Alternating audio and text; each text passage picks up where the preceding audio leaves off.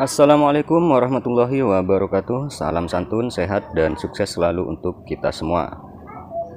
Langsung saja bagaimana cara untuk mengetahui gearbox mesin cuci yang rusak. Untuk gearbox mesin cuci yang rusak dan masih layak pakai Sangat mudah untuk kita ketahui. Salah satu caranya yaitu dengan memutar bagian as gearbox baik atas maupun bawah. Nah, jika kita putar bagian bawah, bagian atas harus ikut berputar. Dan begitu juga sebaliknya, jika kita putar bagian atas, as bagian bawah juga ikut berputar. Nah, itu kondisi gerbok yang masih dalam keadaan normal. Nah, seperti ini, misalkan kita pegang ujung daripada as bagian atas yang menuju ke pulsator. Nah, di sini kita pegang dan ini juga kita tahan.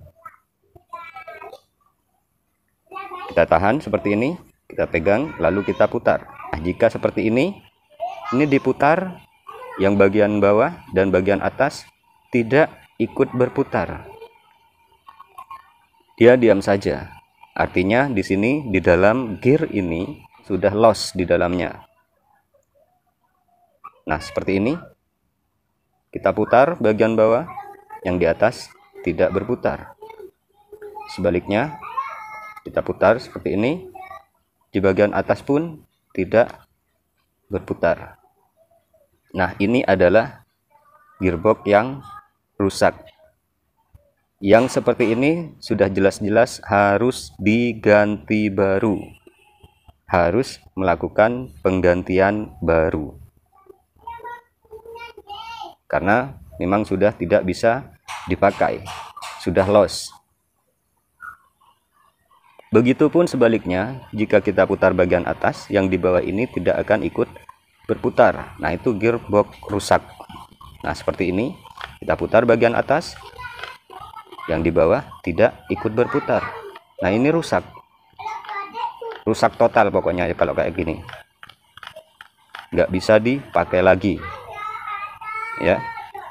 Kemudian untuk gearbox yang masih bisa dipakai atau layak pakai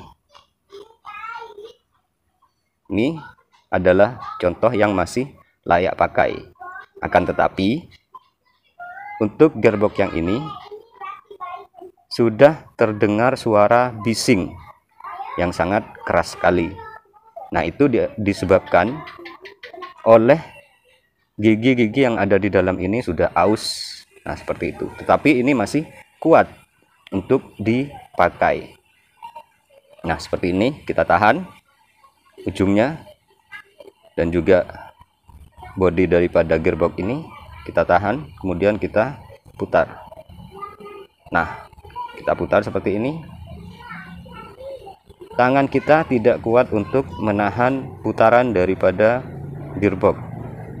As ini tidak bisa ditahan oleh tangan. Nah itu berarti gearbox ini masih layak untuk dipakai. Nah seperti itu ya. Jadi dia ikut berputar. Sebaliknya dia tidak bisa kita tahan dengan tangan. Artinya gearbox ini masih dalam keadaan baik. Kita balik seperti ini. Yang bagian atas kita putar. Nah ini keras sekali. Sangat keras sekali ya. Nah kita tidak kuat untuk memutarnya. Nah ini berarti gearbox ini masih dalam keadaan sehat ya. Cuman kekurangannya kalau gearbox yang ini sudah di dalamnya itu sudah aus. Dan terdengar suara bising saat pemakaian. Nah seperti ini. Kita putar. Kita tahan pakai tangan. Nah tangan kita tidak kuat untuk menahannya.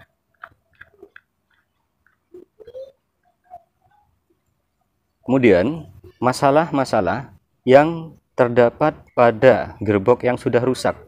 Nah, itu juga menjadi sebuah perhatian untuk kita tentunya. Karena permasalahan-permasalahan tersebut bisa juga berakibat fatal bagi pengguna. Contohnya, jika seal yang terdapat pada gearbox ini bocor, air yang ada di tabung pencuci merembes masuk ke dalam dan akhirnya menetes di bagian bawah gearbox, kemudian menciprat ke dinamo Nah, itu dapat membahayakan. Karena apa? Karena dinamo kita akan menjadi basah dan kemudian otomatis dinamo tersebut akan teraliri oleh arus listrik yang akan menyebabkan ketika saat kita mencuci kita pegang area tabung pencuci kita akan kesetrum.